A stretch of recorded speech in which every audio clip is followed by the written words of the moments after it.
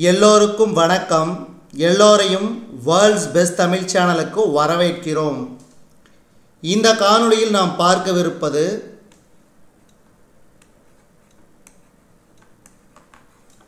Group two இரண்டாயிரத்தி இருபத்தி நான்கு. இந்த வருடம் நடைபெற்றுச்சு. அதில் வந்து ஏற்கனவே நம்ம பொது தமிழில் வந்து நூறு கேள்விகள் ஏற்கனவே பார்த்துருக்குறோம். தற்போது பொது அறிவு. இது வந்து ஒன்றுலேருந்து நூறு வரைக்கும் இருக்குது.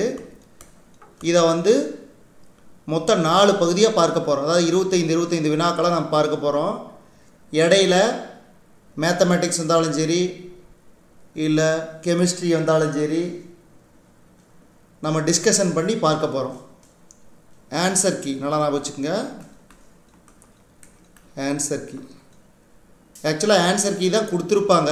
ஆனால் யாரும் டிஸ்கஷன் பண்ணியிருக்க மாட்டாங்க. ஆனால் நாம் வந்து டிஸ்கஷன் பண்ண போகிறோம் முதல் கேள்வி.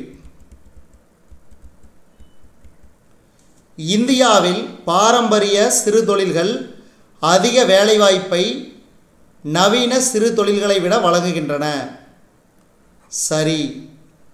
பாரம்பரிய சிறு தொழில்களில் தொழிலாளருக்கு தேவைப்படும் மூலதன மதிப்பு குறைவாகவும் நவீன சிறுதொழில்களில் தொழிலாளர்களுக்கு தேவைப்படும் மூலதன மதிப்பு அதிகமாகவும் உள்ளது. அப்போ ஏ மற்றும் ஆர் இரண்டும் சரி. ஆர் என்பது ஏவுக்கு சரியான விளக்கம். இரண்டாவது கேள்வி.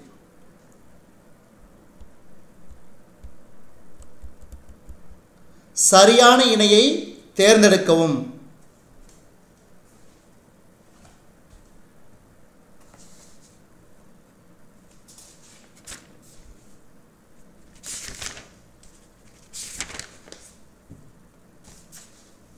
அதாவது இந்த பக்கம் வந்து குடியரசுத் தலைவர் பெயர் கொடுத்துருக்குறாங்க. இந்த பக்கம் தேர்ந்தெடுக்கப்பட்ட ஆண்டு. டாக்டர் எஸ் ராதாகிருஷ்ணன் ஆயிரத்தி தொள்ளாயிரத்தி அறுபத்தி இரண்டு. டாக்டர் ஜாகிர் ஹுசேன் குடியரசுத் தலைவராக தேர்ந்தெடுக்கப்பட்ட ஆண்டு ஆயிரத்தி தொள்ளாயிரத்தி அறுபத்தி ஏழு. பக்ருதீன் அகமத் ஆயிரத்தி தொள்ளாயிரத்தி எழுபத்தி நாலு. சரி.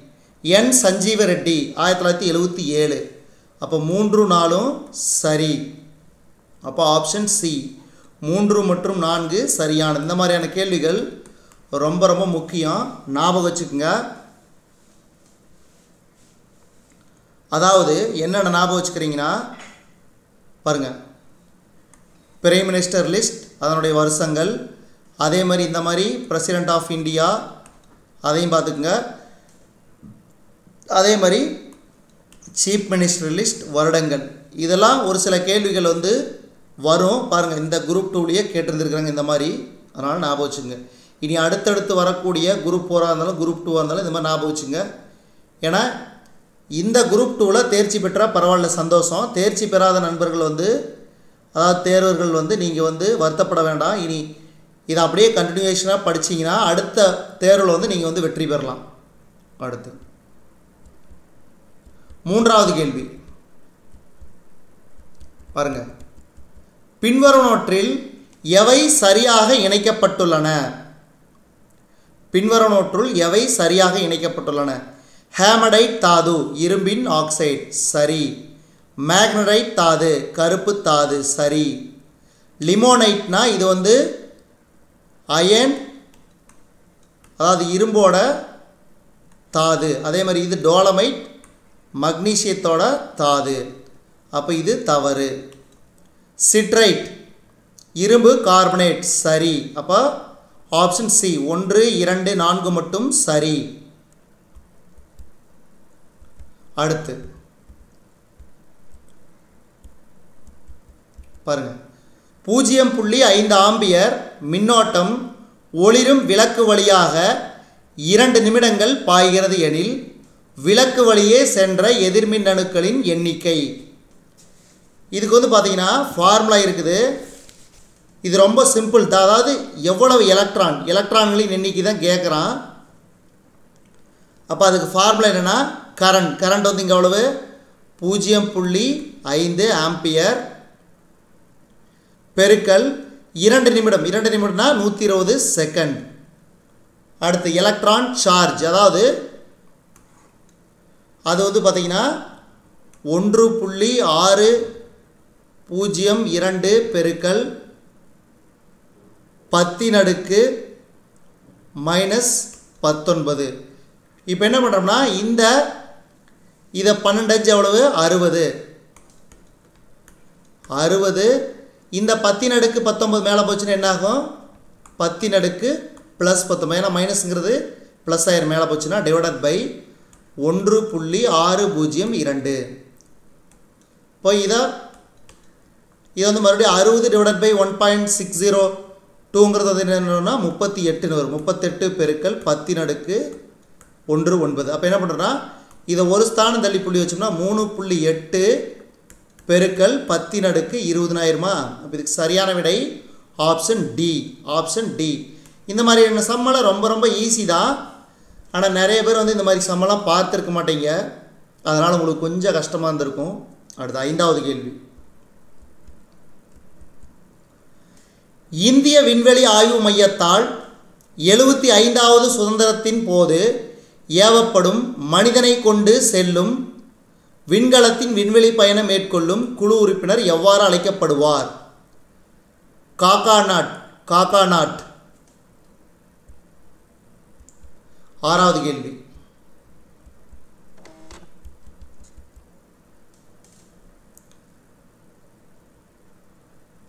சட்டப்பிரிவு இருநூத்தி நாற்பதின் மூலம் தனக்கு வழங்கப்பட்ட அதிகாரத்தின்படி ஜனாதிபதி பிபி மண்டல் என்பவரை பிற்படுத்தப்பட்ட வகுப்பினருக்கான ஆணையத் தலைவராக நியமித்தார். தவறு. இந்த ஆணையம் பின்தங்கிய நிலையை தீர்மானிக்க பதினோரு குறிகாட்டுகளை குறிகாட்டிகளை உருவாக்கியுள்ளது. அப்போ ஏ தவறானது ஆர் சரி. ரைட் அடுத்தது. பாருங்க. நாலும் இரண்டும் சொல்லுக்குருதி என்ற பழமொழியில் இரண்டு எதனை குறிக்கின்றது? அதாவது திருக்குறளுங்கிறது இரண்டை குறிக்கிறது. இரண்டுங்கிறது திருக்குறளை குறிக்குது. கேள்வி வந்து அதுதான். ஆனால் இங்கே நாலுன்னு இருக்கிறது வந்து நாலடியார். இதையும் ஞாபகம் வச்சுக்கோங்க. ஏன்னா சில சமயம் இனி அடுத்தடுத்த தேர்வில் நீங்கள் யாராச்சும் அப்ளை பண்ணிங்கன்னா அப்போ உங்களுக்கு வந்து இது யூஸ்ஃபுல்லாக இருக்கும். நாலுனா நால் நாலடியார் இரண்டுனா திருக்குறள். அடுத்து. எதனை பனையளவு நன்றியாக கொள்வர் என வள்ளுவர் குறிப்பிடுகிறார். திணையளவு நன்றி திணையளவு நன்றி பனையளவு நன்றியாக கொள்வர் என வள்ளுவர் குறிப்பிடுகிறார். அடுத்து ஒன்பதாவது கேள்வி. கல்லாரை காணுங்கால் கல்வி நல்கா கசதற்கு தூக்குமரம் அங்கே உண்டாம். இக்கவிதை வரிகளுக்கு உரியவர் பாரதிதாசன் பாரதிதாசன்.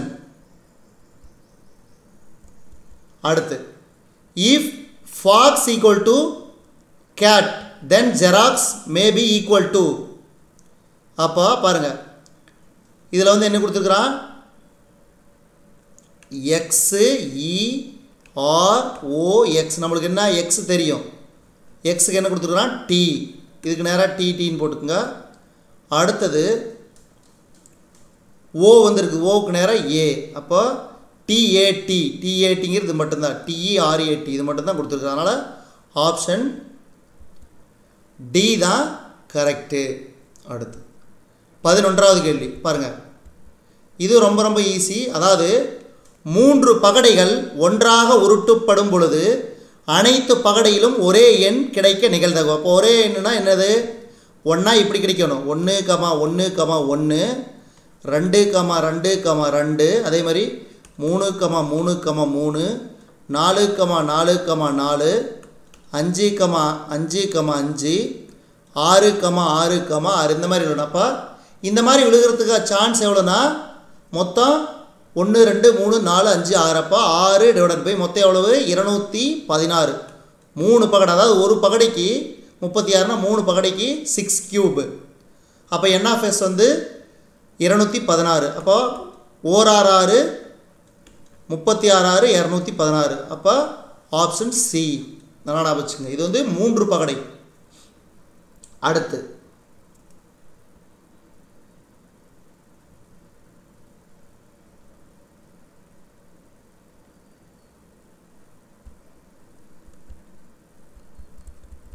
பனிரெண்டாவது கேள்வி.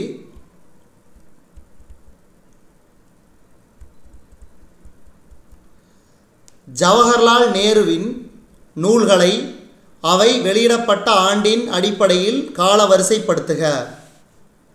அதாவது இது வந்து ஓர் சுயசரிதை சுதந்திரம் நோக்கி ஆயிரத்தி தொள்ளாயிரத்தி முப்பத்தி ஆறு. உலக வரலாறு ஓர் பார்வை ஆயிரத்தி தொள்ளாயிரத்தி முப்பத்தி நான்கு. இந்தியாவின் கண்டுபிடிப்பு ஆயிரத்தி தொள்ளாயிரத்தி நாற்பத்தி ஆறு. சுதந்திரத்துக்கு முன் ஆயிரத்தி தொள்ளாயிரத்தி நாற்பத்தி ஏழு. அப்போ இது பிரகாரம் பார்த்தா இரண்டு ஒன்று மூன்று நான்கு. பாருங்கள் இது ஆங்கிலத்தில் கொடுத்துருக்குறாங்க. என் ஆட்டோபயோகிராஃபி டுவர்ட் ஃப்ரீடம் ஆயிரத்தி தொள்ளாயிரத்தி முப்பத்தி ஆறு. கிளிம்சஸ் ஆஃப் வேர்ல்டு ஹிஸ்ட்ரி ஆயிரத்தி தொள்ளாயிரத்தி முப்பத்தி நான்கு. த டிஸ்கவரி ஆஃப் இந்தியா ஆயிரத்தி தொள்ளாயிரத்தி நாற்பத்தி ஆறு.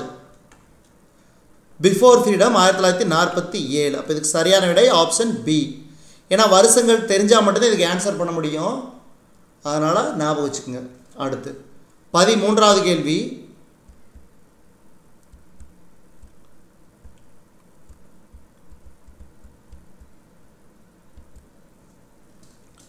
டிஜிட்டல் தொழில்நுட்பங்கள் மூலம் விவசாயிகளின் வருமானத்தை இரட்டிப்பாக்க எடுக்க வேண்டிய நடவடிக்கை. அதாவது தொழில்நுட்ப உருவாக்கம் மற்றும் பரவல் கொள்கைகள் மற்றும் சீர்திருத்தங்கள் மற்றும் வளர்ச்சி ஊக்கிகள். அடுத்தது செயற்கை நுண்ணறிவு. அப்போ ஆப்ஷன் பி ஒன்று மற்றும் நான்கு.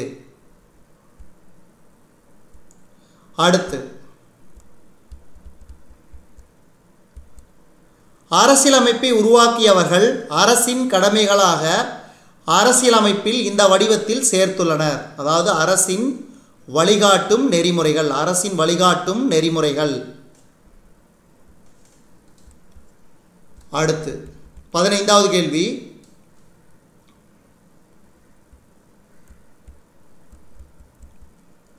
பாருங்க. கீழ்காணும் கூற்றுகளுக்குரிய இந்தியாவின் ஒரு பழங்குடியினம். அதாவது மகாபாரத இதிகாச கதாபாத்திரம் ஏகலையுடன் தொடர்புடையவர்கள் ஆரவள்ளி விந்திய சத்பூரா மலைத்தொடர்களில் வாழ்பவர்கள். அது இது இது சம்மந்தப்பட்டது ராஜஸ்தான் குஜராத் மகாராஷ்டிரா. இந்த மலைப்பகுதி சம்மந்தப்பட்டது சிறிய குன்றுகளில் குடிசை அமைத்தல். மக்காச்சோளமே பிரதான உணவு. அப்போ இதுக்கு சரியான விடை பில்ஸ். ஏன்னா இவங்க தான் பார்த்தீங்கன்னா ராஜஸ்தான்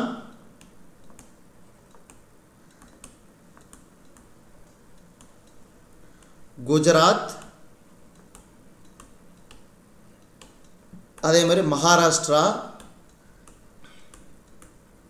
கொஞ்சம் மத்திய பிரதேச பகுதி. இந்த பகுதிகளில் வாழக்கூடியவங்க தான் பில்ஸ் பழங்குடியினர்கள். அதே கோண்டுகள் வந்து பார்த்தீங்கன்னா எங்கன்னா? சத்தீஸ்கர். அதே மாதிரி ஒடிசா. அதே மாதிரி வந்து பார்த்தீங்கன்னா ஆந்திர பிரதேசம் தெலுங்கானா அஸ்ஸாம் அதே மாதிரி கொஞ்சம் பகுதி வெஸ்ட் பெங்கால் இதுலலாம் வந்து இவங்க வாழ்கிறாங்க ஒடிசாவிலையும் சரி. அதே மாதிரி தோடர்கள் வந்து நம்ம தமிழ்நாடு.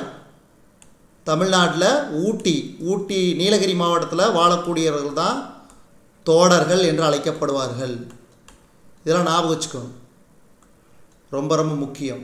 அடுத்து சாந்தல்கள் வந்து பார்த்திங்கன்னா பாருங்கள் எங்கெங்கே? வெஸ்ட் பெங்கால் பீகார் அதே மாதிரி திரிபுரா அதே மாதிரி பார்த்தீங்கன்னா ஒடிசா இங்கெல்லாம் வாழக்கூடியவங்க தான் இந்த மாதிரி சாந்தல்கள் அப்போ நீங்கள் வந்து எப்பயுமே இந்தியாவில் வாழக்கூடிய மிக முக்கியமான பழங்குடிகள் எங்கெங்கே வசிக்கிறாங்கிறத கம்பல்சரி நீங்கள் தெரிஞ்சு வச்சுக்கணும். இந்த கேள்வி வந்து குரூப் ஒன்றில் கூட கேட்கலாம். ஏன்னா குரூப் டூலையும் கேட்டிருக்கிறாங்க. குரூப் ஒன்றில் கூட கேட்கறதுக்கு சான்சஸ் இருக்குது. அதனால் இனி அடுத்த வருடம் வரக்கூடிய குரூப் ஒன்னாக இருந்தாலும் குரூப் ஃபோராக இருந்தாலும் குரூப் டூவாக இருந்தாலும் இப்போ இருந்தே நீங்கள் ப்ரிப்பேர் பண்ண ஆரம்பிங்க. அடுத்து. மேட்ச் த ஃபாலோவிங் இதுக்கு சரியான விடை option A. Carbon dioxide வந்து புவி வெப்பமயமாதல். என்ஓஎக்ஸ் அமிலமலை. அடுத்தது காரியம் அதாவது லெட்டு நிலத்தடி நீர் மாசுபாடு மற்றும் காற்றில் உள்ள துகளொரு மாசு. அடுத்து ஹைட்ரோ கார்பன் ஒளி வேதியியல் புகைப்பணி உருவாவதற்கான ஒரு மூலப்பொருள். அடுத்து பதினேழாவது கேள்வி. இதுவும் பொறுத்துக தான். இதுக்கு சரியான விடை ஆப்ஷன் சி தென்னிந்திய நல உரிமை சங்கம். சி. நடேசன். குடியரசு இதழ். தந்தை பெரியார். தொழிலாளர் அமைப்புகளின் தோற்றம். ஏ. சிங்காரவேலர். சுதந்திர கட்சி. சி. ராஜகோபாலாச்சாரியார். அதாவது ராஜாஜி. அடுத்து பதினெட்டாவது கேள்வி. தாலாட்டு பாடலில் தாய்மாமன் கட்டி வரும் வேட்டி வகை. தாலாட்டு பாடலில் தாய்மாமன் கட்டி வரும் வேட்டி வகை. மல்லு வேட்டி மல்லு வேட்டி. பத்தொன்பதாவது கேள்வி. பாருங்க. உற்றுளி உதவியும் உருபொருள் கொடுத்தும் மேற்காணும் புறநானூற்று பாடலடி எதன் சிறப்பை வலியுறுத்துகிறது? இதுக்கு சரியான விடை ஆப்ஷன் ஏ கல்வி கல்வி. அடுத்து. இருபதாவது கேள்வி. பாருங்க. ஏ என்பவர் ஒரு வேலையை ஆறு நாட்களிலும் பி என்பவர் பனிரெண்டு நாட்களிலும் முடிப்பர். எனில் இருவரும் ஒன்றாக சேர்ந்து அந்த வேலையை எத்தனை நாட்களில் முடிப்பர்? அப்போ ஏங்கிறவங்க எவ்வளவு? ஒன்றின் கீழ் ஆறு. பிங்கிறவங்க ஒன்றின் கீழ் பன்னிரெண்டு ஒரு வேலையை பன்னெண்டு நாளில் முடிப்பாங்க. அப்போ ரெண்டுக்கு கேல்சியம் எடுத்தோம்னா என்னது? பன்னெண்டு. இங்கே வந்து ரெண்டாறு பன்னெண்டுனா அப்போ ரெண்டு ப்ளஸ் ஒன்று அப்போ என்ன வரும்? மூணின் கீழ் பன்னெண்டு. அப்போ என்ன? ஓர் மூணு மூணு நா மூணு பன்னெண்டு. அப்போ எவ்வளோ வருது? நான்கு நாட்கள்.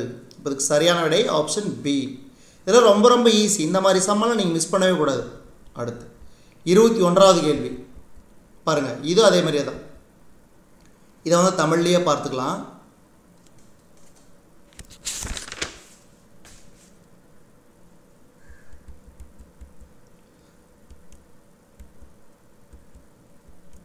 அதாவது ஒரு நீச்சல் குளம் இருபத்தி நாலு மீட்டர் நீளமும் பதினைந்து மீட்டர் அகலமும் கொண்டது. குறிப்பிட்ட எண்ணிக்கையிலான ஆண்கள் அந்த குளத்தில் குதிக்கும்போது நீரின் உயரம் ஒரு சென்டிமீட்டர் உயர்கிறது. ஒரு ஆண் சராசரி வெளியேற்றும் நீரின் அளவு பூஜ்ஜியம் புள்ளி ஒன்று மில் மீட்டர் கியூப் எனில் அந்த நீச்சல் குளத்தில் எத்தனை ஆண்கள் உள்ளனர்? அப்போ நம்ம என்ன பண்ணலான்னா என்ன தான் கண்டுபிடிக்கணும். எத்தனை ஆண்கள் இருக்கிறாங்கிறது. இப்போ டிவைடட் பை விடி வி அப்போ இது வந்து கனளவு அப்போ என்னது? இருபத்தி நாலு பெருக்கல் பதினைந்து பெருக்கல் இது எவ்வளோ ஒரு சென்டிமீட்டர் ஒரு சென்டிமீட்டர்னால் அப்போ எவ்வளோ ஒன்றின் கீழ் நூறு மீட்டர். டிவைடட் பை பூஜ்ஜியம் புள்ளி ஒன்று. அப்போ என்ன வரும்? இப்போ இங்கே போட்டுக்கிறேன். இருபத்தி நாலு பெருக்கல் பதினைந்து டிவைடட் பை பூஜ்ஜியம் புள்ளி ஒன்று பெருக்கல் இந்த நூறு கீழே இருக்குமா? அப்போ என்ன வரும்? இங்கே வந்து இருபத்தி நாலு பெருக்கள் பாஞ்சுன்னா எவ்வளோ வரும்? முந்நூற்றி அறுபது. முந்நூற்றி அறுபது.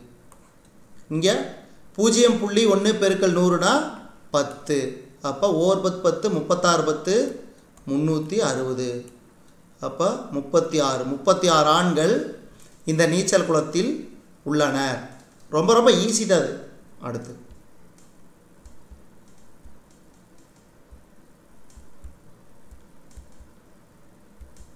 பின்வரும் இணைகளில் தவறானது. ஆப்ஷன் பி மூன்று மற்றும் நான்கு மட்டும் தான். ஏன்னா ராமோசிஸ் வந்து பூனா மகாராஷ்டிரா தான். குகா கிளர்ச்சி வந்து பஞ்சாப் தான் சரி. ஆனால் சந்தல்ஸ் வந்து ஒரிசா கிடையாது. எங்கே? ஜார்க்கண்ட்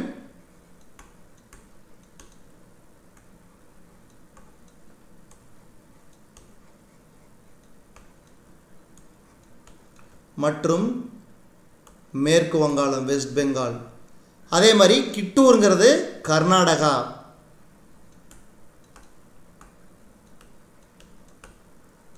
அதனால் வந்து இது ரெண்டு சரி. இது தவறுங்க என்ன கேட்டிருக்கிறான்? தவறான இணை வந்து மூணு நாலும் தான். அடுத்து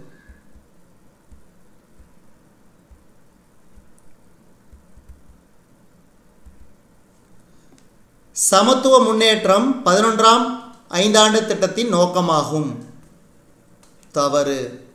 அதிவேகமான நிலையான மற்றும் அதிகப்படியான உள்ளடக்கிய வளர்ச்சி பதினொன்றாவது ஐந்தாண்டு திட்டத்தின் முக்கிய நோக்கமாகும். இதுவும் தவறப்ப டி ஏ மற்றும் பி இரண்டுமே தவறானவை. அடுத்தது.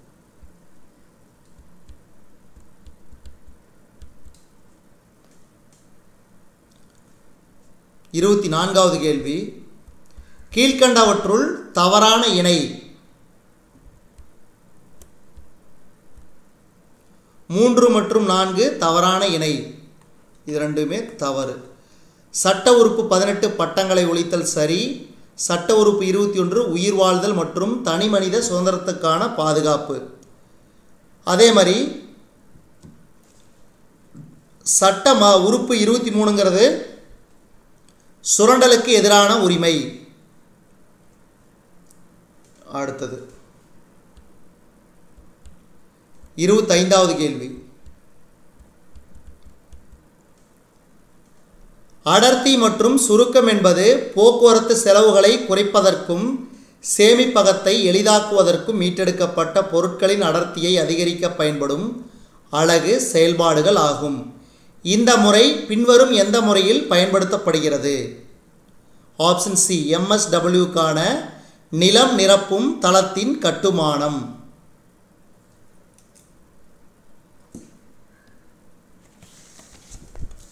நன்றி.